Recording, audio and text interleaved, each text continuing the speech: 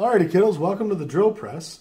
Uh, first thing we need to talk about on the drill press is uh, a few things um, about general safety. So the first thing, again, when you run in the drill press, make sure, number one, um, that you have your safety glasses on, you have any long hair tied back, and if you have any strings hanging, make sure you get those tucked into your shirt and make sure sleeves are rolled up. then, once you get uh, over to the drill press, um, a few things we'll talk about. The first thing, uh, this part down here, this is called the chuck. The drill chuck holds the drill bit. In this case, um, I have a one inch drill bit in there. Um, other things you'll notice up on the side of the drill bit here, this is called the chuck key. The chuck key goes into the chuck um, and you can loosen it so that uh, you can take the bit out. So see, I can take the bit out.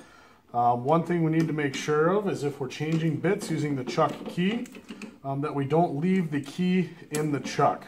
Okay, make sure you always take the key out and you put it back up on the drill press. Before you get to drilling your piece, um, make sure that you always have your piece clamped to the table. In this case, I have a nice jig, but that jig is clamped down using two C-clamps, one here and one over here. Um, so always make sure that we have something holding our piece to keep it from spinning. You never want to have your piece um, spin out of your hands and, and it would uh, tear up your hands. So let's make sure that we keep the piece clamped to the table using some type of clamp or block. When you're running the drill press, um, up on the face of it, you're going to find a start and a stop button. Let's make sure that we understand where those are and how they work. Um, when you're using the drill, um, the feed handle, this uh, red handle over on the side, this is what you're going to use to run the drill with. Um, so I'll pull the, the handle down um, as my left hand is kind of sort of holding my work or holding the clamp in place.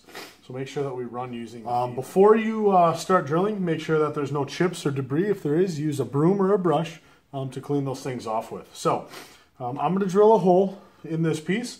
I'm going to run over just some of the rules. So, again, we're clamped down. I have my safety glasses on. I'll roll my sleeves up as best I can. I'm going to start the machine with my right hand. It'll get up to speed. I'll take my left hand. I'm going to hold my piece and my clamp in place. Using my right hand, I'm going to run the feed handle.